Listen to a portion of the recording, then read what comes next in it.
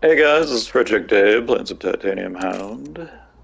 So I went with the um, more damage and more health, the, the classic perks that one would pick.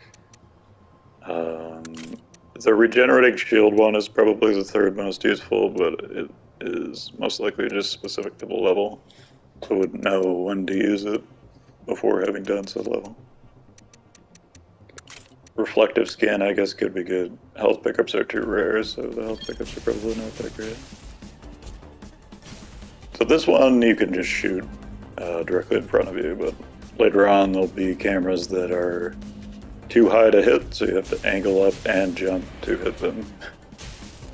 So the only way I can do that on a controller is with the claw grip. I have to like move my hands around a lot to, to pull it off. It's a little little sketchy. I assume on with mouse and keyboard you just point the mouse and no problem there. But not an option on PS5, as far as I know. But this is a pretty good slice of the combat slash exploration aspect of the game. Uh, oh, this guy has a shield, so I do use the clone on it, I think. No, I don't. See, I didn't use the clone on it, but the shield still went away. Uh, so it can't go away of its own volition. I'm not exactly sure how that works, but you're supposed to use the clone, which is L2 plus R2, and then shoot it. Maybe it just takes a while to kill it if you don't do it the correct way or something. You can also get credit for the fire that this guy drops, killing enemies. That can give you a trophy. Even though you're supposed to be doing it with your own weapon, the craftable weapon. I'm not sure what the uh, incentive is to pick up collectibles or anything like that so far. The JI floating around there. Um, these yellow shields are for crafting, so it's the significance of those. And this is what happens when you hit a camera. I think this camera is technically gettable. The one on the left, or the one on the right here, is one where you would have to angle up in order to hit it, which I did not do. It's not fatal to, uh, to trigger a camera or anything like that. I don't know if there's a European extreme difficulty or getting sighted as instant loss in the game, but just playing it normally it doesn't seem to be a problem. Actually, I'm not sure if there was a difficulty setting. Well, doesn't mean there wouldn't be a harder difficulty after you beat the game. Who could say? Um, I played this so early or quote unquote early. I, I, guess it wasn't that early, but uh, that the trophy list wasn't up, updated, which is always an interesting. Or not updated; it doesn't like exist on PSN yet, which is always an interesting feeling. I think I've only done this like four, four or five games.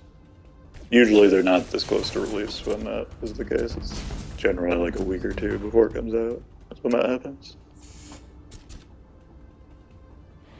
So that that's part of the reason that I was motivated to play it some more. And also I just need a game to talk over, and this game seems really, really cool. So all the above work together. This one I do not know how to hit. Or maybe you can hit it with the Yeah, I don't I don't know what you're supposed to do with this one. Is that just a checkmate? You will always hit the salute no matter what? No idea. Hmm. There's an infinite enemy spawner here. But it took me a while to figure that out. This thing above them that spawns enemies. And I guess the... These guys are blowing up are prisoners converted into enemies or something? Based on the lore? Or mechanic organic hybrids cyborgs, possibly. Lore actually seems kind of interesting in this game as well. In a cyberpunk sort of way. Oh, the uh, the boxes on the ceiling, which they show you in the tutorial, there's one up and to the right. They have health in them. And there are checkpoints. That's the other important thing to note. It seems like all enemies stay dead for checkpoints. Uh, unless it's a boss checkpoint, then uh, stuff respawns, but I could be wrong about that. It's just my experience so far. Eventually I'll figure out that I can blow up the thing up top. But getting to the end of my commentary bit here, um, hope you enjoy the rest of the video. The hum of the engines broke the silence above the blocked highway as your dropship descended to the calculated altitude and started to decelerate. You were arriving as reinforcements to solve a problem that regular police units couldn't handle.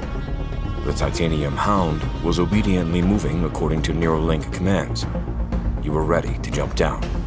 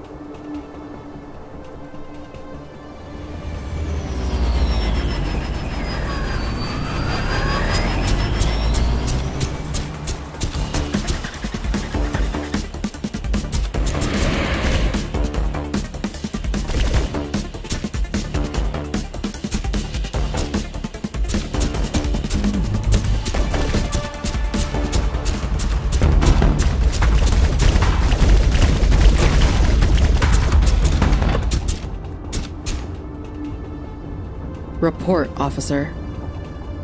The building's crawling with those things. The security systems inside have gone rogue. We won't stand a chance.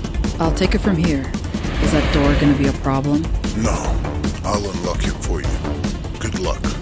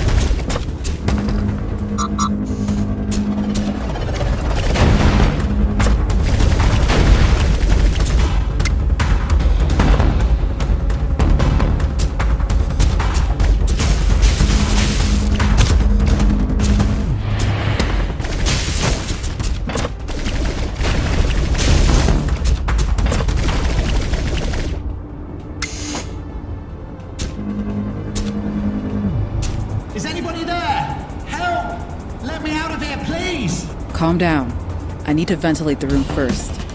Okay, let's see. Options, safety, vent controls.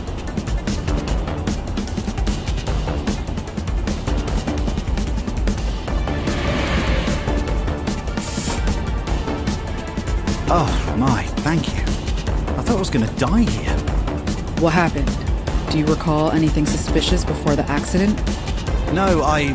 Wait, there was new equipment delivered recently. Huge truck with several escort cars.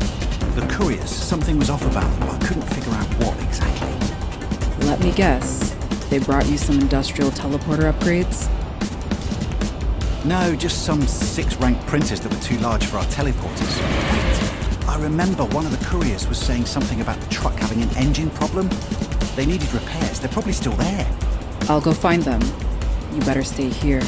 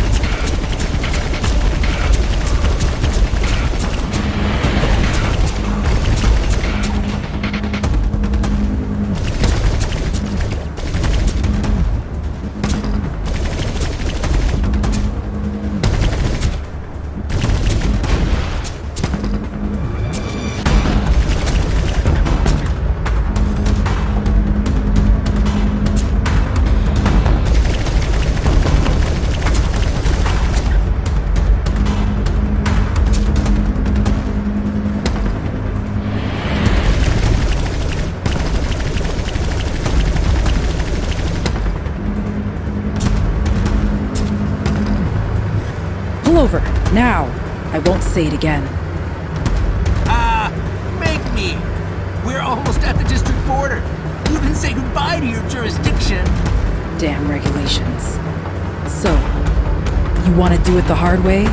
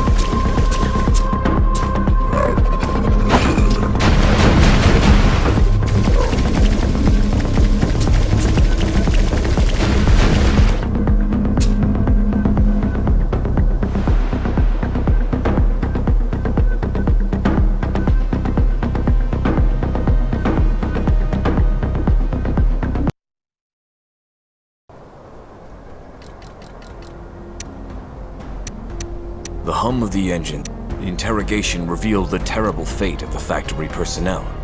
They were captured and pulled through the teleporters, along with the weapons that became part of their bodies. The saboteur said that his gang grabbed the guns from someone at one of the ARC recycling facilities, but couldn't name the contact. You need to follow this lead.